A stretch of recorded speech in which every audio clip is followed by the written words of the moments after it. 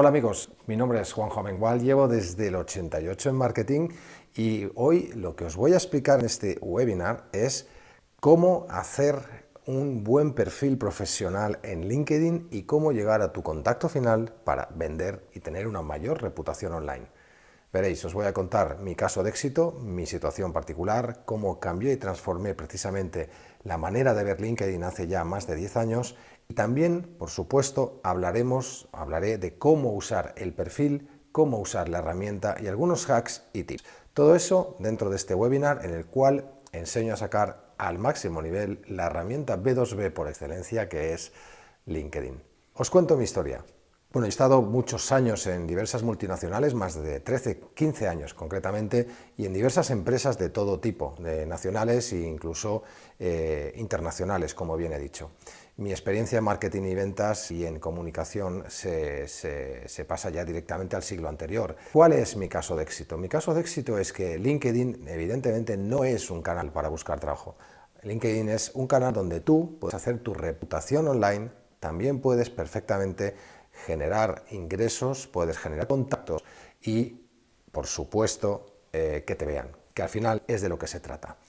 En el año 2009, concretamente, yo entré a formar parte como director de marketing y ventas de un club en primera división, el Real Mallorca, aquí en la Liga Española. La situación en el 2009 era de crisis y evidentemente todos los clubes, incluido el Real Mallorca, estábamos buscando un patrocinador principal, el main sponsor, ese que sale en la, en la camiseta. ¿Os acordáis? ¿Sabéis de qué hablo, verdad? Como todo en la venta, nunca se consigue todo desde el primer contacto. Se consigue siempre al quinto, sexto o séptimo contacto. Mi primer trabajo, mi primer trabajo fue realmente, además de los múltiples eh, negocios que hay dentro de un club de fútbol, merchandising, palcos VIP, empresas, eh, alquiler de campos de césped, eh, tiendas, etcétera, etcétera, ticketing, socios. Además de los negocios que hay dentro, el main sponsorship, el principal patrocinador, es por lo menos eh, de una manera eh, moral para un club es necesario tenerlo. No solamente económicamente, sino también, insisto, es un, es un, tema de marketing. Si yo tengo un main sponsor fuerte, los voy a traer a otros main sponsors. En aquel entonces había clubes como el Atlético de Madrid, el Sevilla, el Valencia, que andaban sin sponsorización. Por supuesto que eso sucedía por la crisis que había dado un vuelco a la economía en aquel 2008-2009, aunque no lo recordemos porque quizás nos queda un poquito lejos. ¿Qué pasó? Lo primero que hice fue decir, vamos a ver, si yo tengo que acceder a las mm, agencias de marketing internacional deportivas y a las grandes empresas que en aquel entonces estaban invirtiendo algo en deporte, como eran las compañías de seguro, las compañías de apuestas en aquel entonces, etcétera, etcétera, lo primero que hice fue, pues, ¿dónde está el dinero? ¿Dónde están los sponsors? ¿Dónde están los patrocinadores? Entonces, buscamos eh, equipos de primera y segunda liga de todos los países de Europa y fuera de Europa para identificar exactamente quién era el cliente objetivo. Una vez identificado, bueno, pues simplemente me hice un buen perfil donde yo explicara bien lo que estaba haciendo y lo que había hecho, cosa que no había, no había nunca hecho. Tenía el perfil de LinkedIn como un perfil como posiblemente lo tengas tú para buscar trabajo, que es un error gravísimo, y lo vamos a ver en este webinar. Y lo que hice fue eh, precisamente hacer un buen perfil y empezar a contactar con gente que me podía hacer llegar a gente, que me podía hacer llegar a gente que eran responsables de marcas grandes en todo el mundo o responsables de agencias internacionales de marketing deportivo, que era mi decisor, mi avatar. Una vez hecho el contacto, mirar qué sencillo, eh, simplemente fue ir desarrollando. De ahí salieron campañitas, vallas, eh, etcétera, etcétera, o la U televisiva, que antes eran con LEDs, salieron historias, pero la más bonita de todas fue el conseguir un contrato de 2.700.000 euros de Bet at Home, lo veis aquí, que es, fue el sponsor durante dos temporadas, tres temporadas en aquel entonces, en aquellos años turbios de, mucha incertidumbre. Conseguir eh, aquello no fue moco de pavo, no fue contactar en LinkedIn y firmar un contrato, sino que fue un proceso que empezó en LinkedIn, siguió en LinkedIn, en una empresa austríaca de Linz, en una agencia que estaba en Londres, cuya era filial de una empresa de Los Ángeles de marketing deportivo, para terminar en una firma en un sábado frío del mes de diciembre en una firma en el club un año después. Eso es un caso de éxito, 2.700.000 euros, pero no es casualidad. Si quieres saber realmente cómo sacarle provecho a tu marca a tu reputación y a tu empresa, si eres business to business o sea lo que sea, cual sea tu negocio, LinkedIn, tienes que tratarlo como una herramienta profesional de primerísimo nivel y de generación de negocio y de marca. ¿Qué hago yo en LinkedIn? Te lo voy a contar. En primer lugar, el perfil. El perfil tiene que estar perfectamente estructurado. Lo más importante está arriba. El punto 1, la foto. Tiene que ser una foto que destaque sobre las demás al, máximo posible.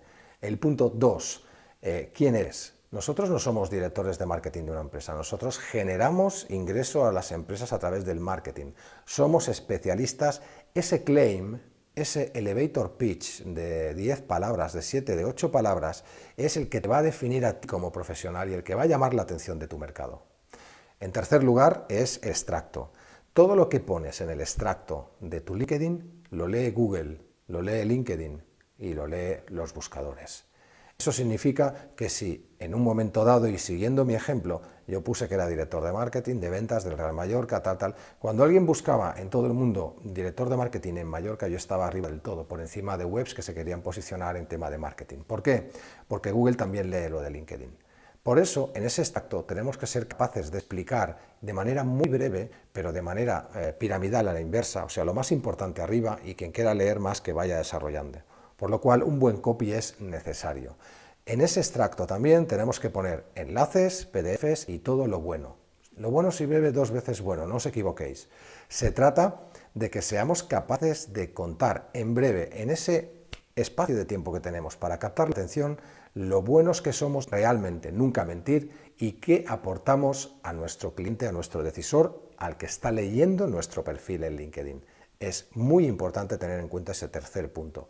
O sea, foto, o sea, imagen, cuando digo imagen también lo que hay detrás, logotipos, etcétera, etcétera, el, de, qué, de, qué, va nuestro, nuestro, nuestro claim en ese, en ese titular debajo del nombre y el extracto. Todo lo demás, por supuesto, súper relleno. Mis tres consejos que os voy a dar ahora son de cómo usar LinkedIn. Hay tres estrategias. La primera, contactar con todo el hijo de vecino que podáis, porque en LinkedIn, el primero, el contacto de primer nivel, eh, tú puedes acceder a él vía email. Si tienes muchos contactos de primer nivel, tendrás contactos de segundo nivel. Eso significa que podrás acceder también a los contactos de segundo nivel, por lo cual más unos igual más doses, igual más treses. ¿Qué significa eso? Que si yo quiero contactar con alguien de nivel 2, que nosotros en LinkedIn decimos que el negocio se hace con gente de nivel 2, Cuanto más, cuanta más gente tengamos de nivel 1, más posibilidades tendremos de tener gente de nivel 2. Entonces, definir quién es nuestro avatar, nuestro decisor y buscarlo como amigo. Si es posible, cuando lo hagamos, a la hora de contactar, enviarle un mensaje. Ese es mi pequeño tip de diferencia. Yo no contacto con esa persona porque sí. Yo contacto con esa persona y le digo, hola, soy Juanjo Amengual, consultor de marketing, esta es mi página web, juanjoamengual.es, me dedico a generar ingresos a las empresas y me gustaría estar en contacto contigo porque creo que te puedo ayudar a vender. Simplemente una frase sencilla con un link que sirva de contacto. ¿Qué conseguiremos? Que algunos nos lean y quizás, por lo menos, eso es lo importante, nos van a ver y sabrán que estamos ahí. Porque LinkedIn, insisto, es que te vean, QTV. Eh, ¿Qué otra cosa haría yo en cuanto a uso de LinkedIn? Bueno, estar en 50 grupos, que es lo que más nos permite LinkedIn, es importantísimo. A la hora de entrar en cualquier grupo, que sea por supuesto un grupo donde está nuestro cliente final, si yo soy periodista no me meto en un grupo de periodistas, si yo soy periodista y genero, contenido a empresas, me voy a meter en dirigentes de España, en grupos donde haya 100.000 empresarios para yo empezar a contar lo que hago y lo bien que lo hago para llamar la atención del mercado y que se pongan en contacto conmigo. De eso se trata. Esa es la tercera parte, generar contenidos para generar reputación. O sea, contactamos con el cliente final, con el cliente, contactamos con un mensaje y en tercer lugar, generamos contenido de valor. ¿Qué es el contenido de valor? Muy fácil. ¿Quién es tu cliente? Vale, ¿qué pupa tiene? ¿Cuál es el top 10 o top 5 de sus principales preocupaciones que tú puedes solventarles? Bien, cuando se lo hayas preguntado o cuando lo sepas o lo intuyas, lo que tienes que escribir, hacer un vídeo, hacer un podcast, contar en LinkedIn y en todas las redes que quieras es precisamente cómo solventas esos cinco problemas o esos diez problemas de tu cliente objetivo. Si lo haces así y lo haces frecuentemente y tienes muchos contactos que te lean, es muy probable que seas, que aumentes la reputación de tu marca, de tu empresa o de tu marca profesional. Estas son las tres cosas a grosso modo. Todo esto te lo voy a contar en mi curso de LinkedIn que ahora mismo te voy a ofrecer. El curso tiene nada especial, es un curso en el cual simplemente expongo esto de una manera un poco más extensa y te ayudo poco a poco, paso a paso, a que pienses en hacer un perfil más profesional.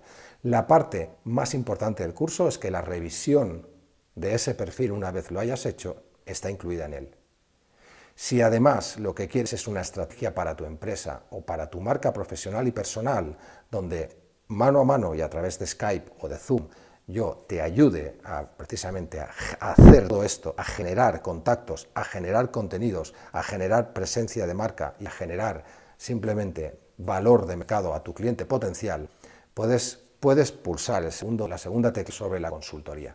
Y eso también es una cosa que hago para que lo hago, aprendas a hacer. La gestión es muy fácil, es una cuestión de tiempo o dinero. O lo haces, que es lo que voy a hacer yo, enseñarte a hacerlo para que luego tú seas el propio amo del LinkedIn y tu reputación online y la generación de ingresos y contactos sea precisamente tu caballo de batalla, sea cual sea tu negocio, tu marca o tu business en estos momentos. Nos vemos dentro, haz un clic y te espero dentro porque vamos a mejorar tu perfil, tu reputación online y a generar más ingresos a través de la red profesional B2B, business to business, que es LinkedIn. Mi nombre es Juan Jovengual, en comovender.info puedes encontrar más información y contactar conmigo, agendarme y a mejorar tu LinkedIn y tu marketing business to business. Nos vemos dentro. Gracias. Hasta ahora. Chao.